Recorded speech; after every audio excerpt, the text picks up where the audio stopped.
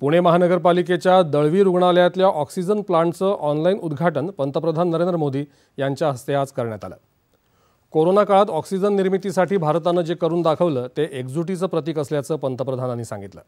लवकरात लवकर शंभर कोटींपेक्षा जास्त लसीकरण पूर्ण करू असा विश्वासही त्यांनी व्यक्त केला. हे संयंत्र सतराशे एल पी एम क्षमतेचं असून पी एस ए तंत्रज्ञानाचा वापर करून उभारलं आहे.